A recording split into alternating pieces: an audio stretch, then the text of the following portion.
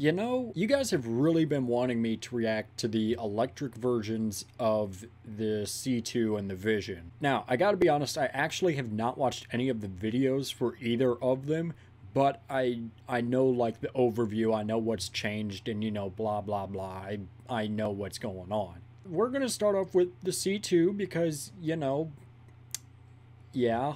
So, we're going to head over to the Thomas website real quick. All right. Uh okay. Thomas Built Buses presents Facts About Fuels. What's your game plan for choosing a school bus engine? Watch him figure out a strategy that works for you. You know what? Okay, we will do that. What's the smart strategy in choosing your school bus engine? All bus fuels have become much cleaner over the years. Okay. Diesel is 90% cleaner than it was in 2006, and based on EPA regulated emissions, diesel is comparable or even cleaner than other fuel types. Okay, well then what's the point of this? In fact, diesel engines outperform all other engines in efficiency and fuel economy. Buses with diesel engines are also easier to resell. Diesel engines are built for the long haul. I thought this was supposed to be a, about electric buses. And why is there a recommended for watermelon down over here? and can last 15 to 20 years or more. They almost never need to be replaced during the life of a school bus, which can significantly cut your costs. They're easier to maintain and can go up to 45,000 miles before needing oil and fuel filter changes. Oil changes 45,000 miles? My truck eh, requires one every 3,000 miles. Man, I need to switch over to diesel, I guess. Maybe that's why 93% of today's school buses run on diesel power. Clean, cost effective, proven, innovative. Again, doesn't isn't that all supposed to be electric stuff? Diesel goes the distance.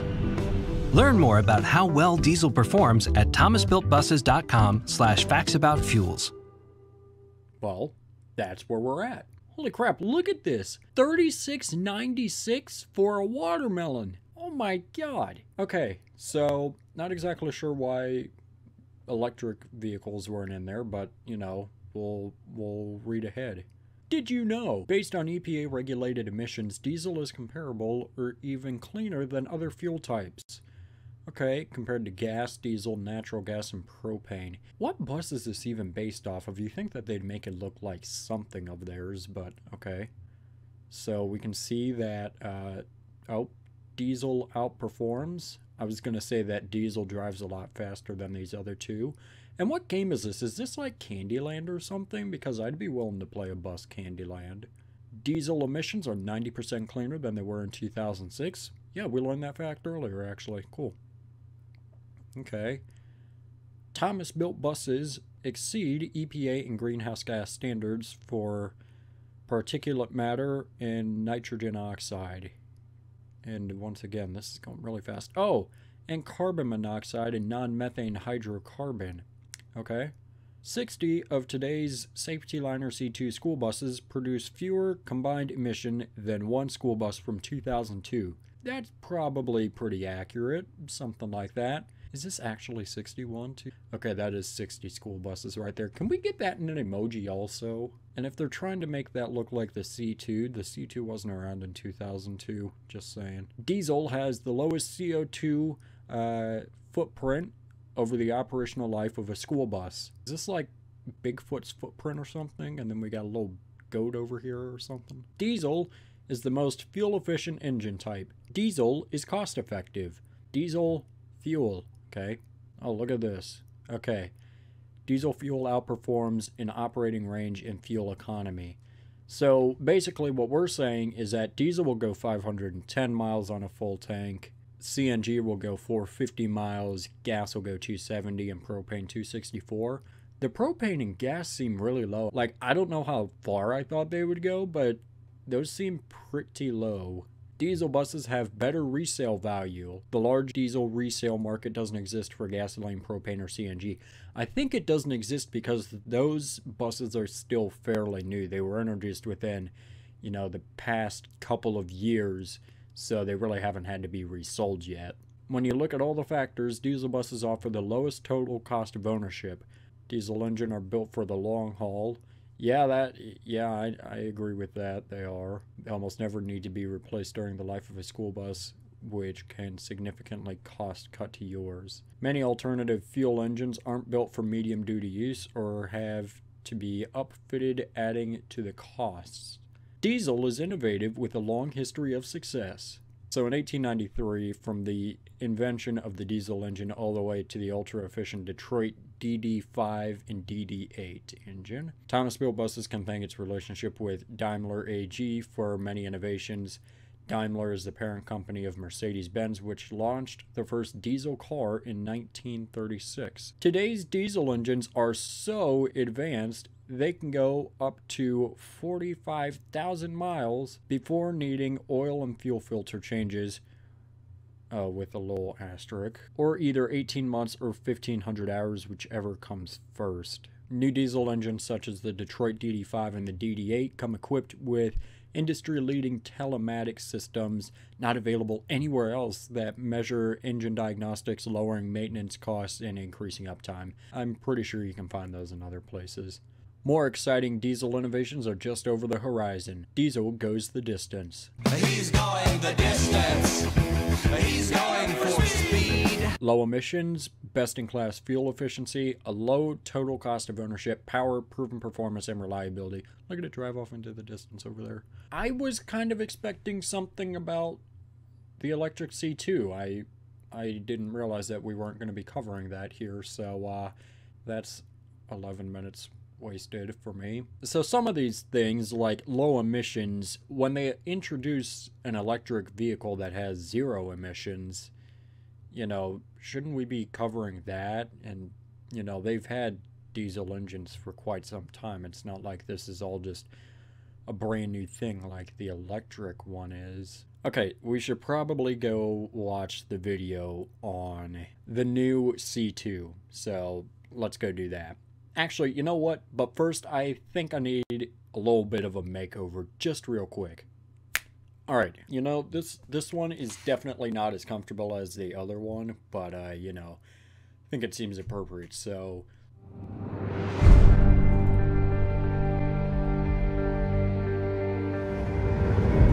Okay, this is like actually pretty good cinematography already within the first six seconds. Already better than IC, so the same incredible reliability.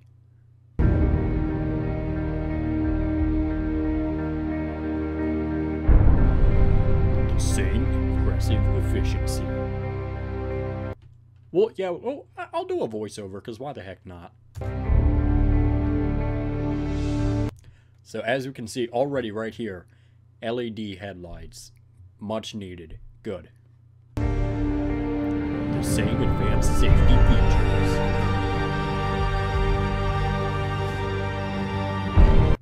Okay, so so it looks a little. It, it certainly does look a little strange. Uh, I think this is something once once we see the full picture, you know, I think then I'll be able to judge if I like it or not. What makes this bus different?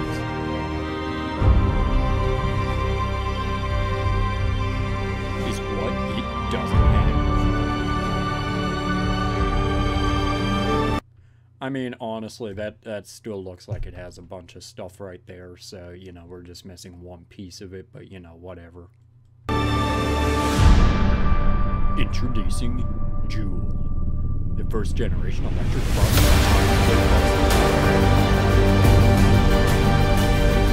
Okay, hold on, hold on. I think let let's take a look at this again.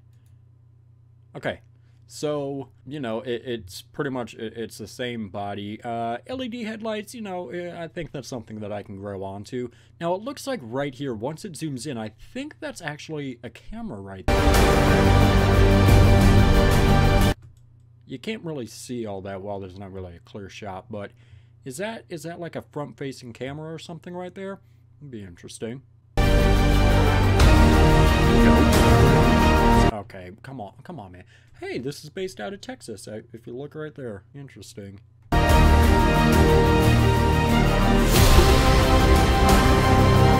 man, this is this is loud, but this is like actually a really good trailer. I gotta say, lower maintenance and fuel costs.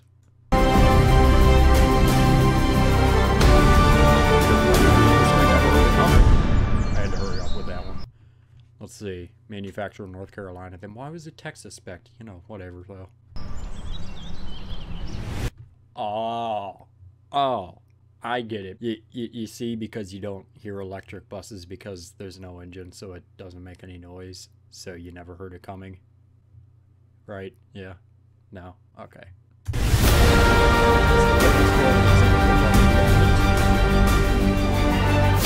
Okay, okay, let's look at that thing again.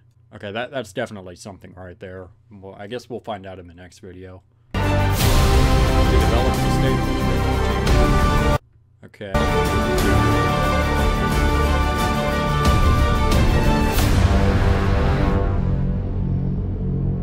Coming to a future. Okay, hold on, hold on. let me let me edit in something right here.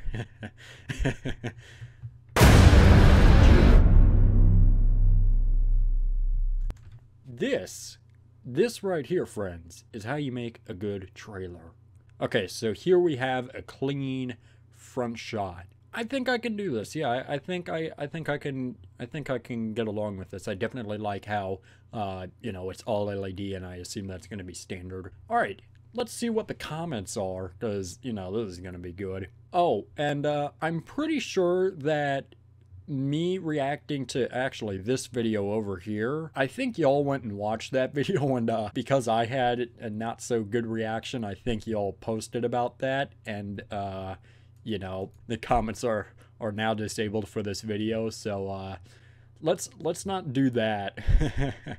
because I I'm pretty sure that they were open before I posted that video. So with the music in this ad, I was expecting the school bus to turn into a transformer robot and fight aliens. That's perfect. Of course it is. Okay, so this guy said, I wonder how many miles these buses drive uh, on an average day. Thomas replied, The Joule is best for in town routes that don't exceed 100 mile ranges. Uh, what is the actual mileage? I wonder now, because clearly it's under 100 miles. I want Tesla to make a bus. Hey, I have a video about that. Okay, so now that we've met the bus, I guess, let's actually take a look at it. We're here in Col- Man, why did we have to go from this super, super cool music to this? But, okay, whatever, whatever. Columbus, and we just unveiled at the National Association for Pupil Transportation our first electric bus. Okay. Customers are really excited about it. We snuck up on our competition, they didn't see it coming. I'm pretty sure they did. I've had the pleasure to drive it, super smooth. It's going to allow us to develop future electric vehicles. I am super excited to be here, not just here at NAPT, but literally here, standing in the engine compartment of our Saf-T-Liner C2. How can I stand in the engine compartment? Actually, you're not standing in the engine compartment, you're standing right next to the engine compartment, but... Because there is no engine. Why is there no engine? Because this is an electric vehicle. Introducing Jouley, our safety line. This is Julie? Oh, oh crap, oh crap, I've been pronouncing it wrong. You know, I, I was thinking that, you know, it, it was like silent or whatever, but, you know, and, and there's, there's, Thomas just has some weird names like the Vista, you know, you can pronounce it Vista. Uh, the safety liner C2, I know some people call it the safety liner C2, you know, whatever, but okay. Julie, okay, so it's a she then. Okay, okay. Liner C2 first production intent vehicle. One other thing that's missing from this Saf-T-Liner C2 electric bus is the tailpipe. No engine, no need for a tailpipe. Okay. No emissions, no noise, all without sacrificing power. Okay, let's look up this license plate real quick just to see what it pulls up to. So North Carolina MF 3145. Show me the Carfax. Ooh, doesn't look like that's a real license plate. So here we have our DEF tank access door, which for electric vehicle is actually the charging port. Oh, you fooled me there. Okay. You said it was a DEF door, but it's not. Okay, okay. Okay, I, I, I think that that is a, a good little charging place right there. I think maybe something to also think about for the future is adding maybe, you know, one in the front and one in the back on the opposite side, just so that there is two places that you can charge it. So maybe you can plug it in both at the same time to get, you know, a faster charge, or if it's not convenient to put it in this spot so that you can put it in the other spot. So, you know, maybe that's something that we can see in the future. So you'll see a standard J 1772 charging port easily accessible for end-of-day charging. So Jouley comes with a unique feature to electric buses, and that is export power. Export power means that Jouley is able to provide power source for external devices such as laptops or cell phones. hold on, hold hold on. Let me let me let me open up the side of the bus. Let me plug in my phone charger, and then let me let me uh, charge my phone while I'm driving. In my truck, I have one of these external things in the back of my truck, and I will tell you, when I go out in the middle of nowhere, you, you know, camping or whatever, it is extremely useful to have one of these. Now, of course, you know, this bus isn't going to be going off-roading or whatever, so sitting at a band competition or a football game or, you know, something like that, these drivers are able to actually bring along their laptops and, uh, you know, use a full-sized Outlook compared to just the, uh, the car charger, so that's good. You'll see a traditional 120 volt AC power system just like you find in a house. You also see USB ports here. Now, I don't know how many of you guys are actually going to stick along with this, but I wonder if they have any USB-Cs in there. Let me show you what they are real quick. So these right here, this is your normal USB-A. So this is what, uh, you know, you see pretty much everywhere. These are now the older style USBs. I don't have a I don't have a USB B handy, but uh, these are USB Cs. They kind of look like lightning cables, but basically both ends are USB Cs, and they are being implemented a lot more. So the Macs have them. A lot of cell phones have them. I actually have one right there. They're reversible. They're a lot they're a lot faster to transfer data and charge and stuff like that. And I think that, especially with these newer buses, that we would want to start implementing USB-Cs compared to USB-As. Of course, USB-As um, are still going to be relevant for quite some time, but I think we also need to start implementing the newer technologies such as USB-C. This particular system is 2 kilowatts continuous, 3 kilowatts peak, but it can be expanded to go beyond this and have enough power to even power a neighborhood. A neighborhood? Okay, I want to know how big this neighborhood is and how much power these people are using because that is pretty crazy. Like, if that can power like a neighborhood the size of the neighborhood I'm in, props to you if you can actually do that. In the safety. Okay, uh, different dash as we can see uh, there's no real tachometer mainly because there's no engine but now we have a fuel gauge I guess so we have the speedometer over here and we have a big fuel gauge over here well charge gauge I guess but you know what I mean The Liner C2 electric vehicle, you'll notice a different driver information cluster. Because we don't have an engine, you no longer need to see RPMs. Instead, what you see is the state of charge of your batteries, this project would not have been possible without the support of Daimler and DTNA. And the future of sustainability is not somewhere out in the distant future, it's happening now at Thomas Built Buses.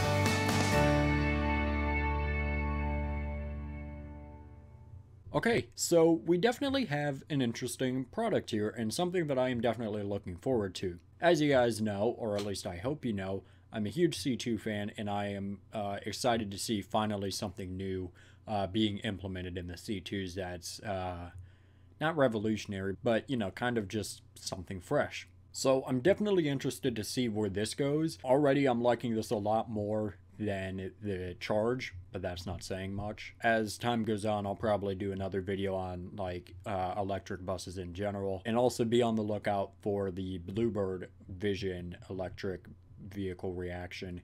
Yeah, guys, so I guess that's pretty much it. Thanks so much for watching. Make sure you let me know what your thoughts are down below. I'm sure most of you guys have seen it uh, at this point already, but uh, if you haven't, then uh, let me know what you think. Let me know what you think either way. I'm interested in hearing it. So, yeah, guys, thank you so much for watching. Uh, like I said, that's pretty much it. Uh, make sure you subscribe right down here. It's a magical red button that says you are now subscribed to Safety Liner C2. Make sure you comment up here, down here, over here, or over here. I don't know where they put it down here, where they put it. Make sure you also give this video a thumbs up, or I'm also going to pronounce your name wrong. And make sure you also share this video with a friend. Show it to your mom, share it to your dad, show it to a guy on a random street. I don't care, don't get raped. So yeah, guys, that is pretty much it, and thanks for watching.